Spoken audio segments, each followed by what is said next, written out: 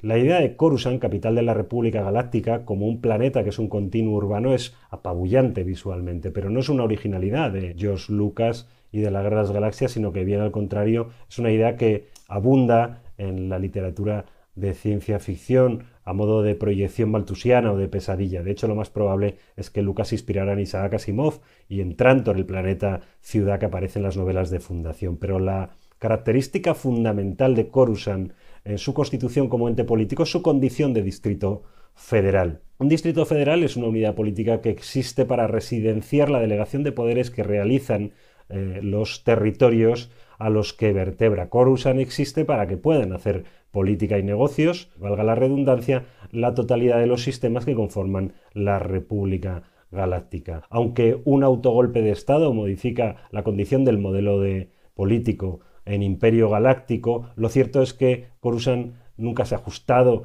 al canon de potencia imperial porque no es expansiva, es decir, no conquista ni somete a nuevos territorios, sino que opera para los ya existentes. No es como si la Tierra, eh, merced a una hegemonía cultural, tecnológica, política o militar, conquistara un montón de sistemas eh, en un proceso de expansión, sino más bien como un punto de reunión en el que un montón de civilizaciones preexistentes organizan un espacio político común. En tal sentido, Coruscant no es propiamente otro sistema, es una creación del resto de sistemas y ya veremos que, como todo mito prometeico, acabará volviéndose contra sus creadores.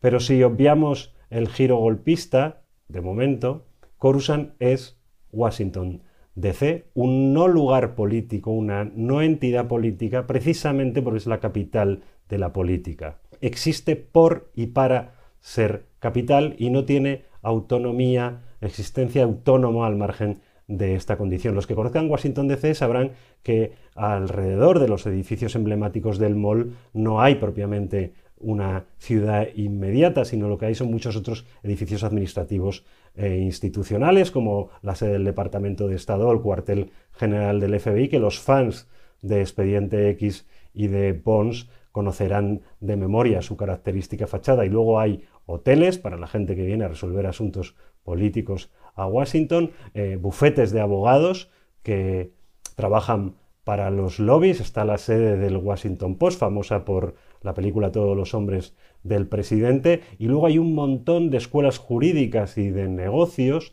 donde se foguean los futuros eh, lobistas del mañana.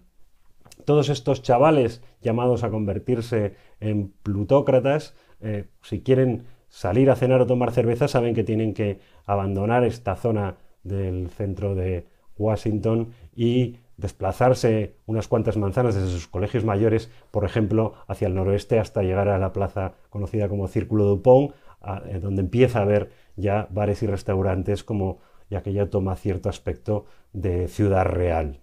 Algo así es Madrid, un poblachón manchego en el que Felipe II decide instalar la sede de la corte oficialmente porque se encuentra en el centro eh, geográfico de la península, en realidad un poco también porque quería alejarse del frufru, de las casullas del arzobispado de Toledo, aficionado, como es tradición, a la intriga y a, a hacer política. De este modo, Madrid, como ciudad, no preexiste a su condición de capital.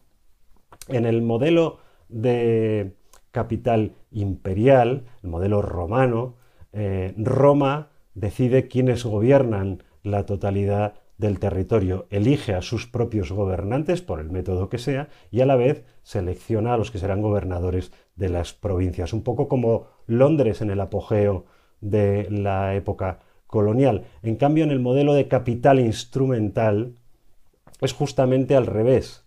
Son el resto de territorios los que deciden quién manda en Washington o en Coruscant.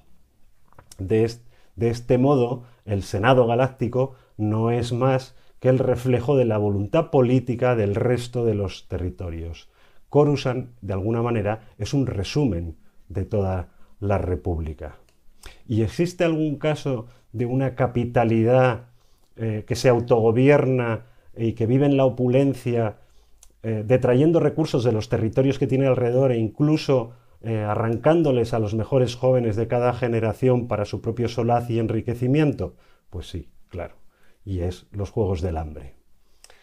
Panem, el país de los Juegos del Hambre, después de todo, y si no recuerden los polvos de talco y el maquillaje de los oligarcas, está inspirado en la Francia de finales del siglo XVIII, la que estaba a puntito de descubrir la potencia política, la utilidad política que pueden llegar a tener las azadas, los, los rastrillos y las antorchas. Así que recuerden, Teruel existe.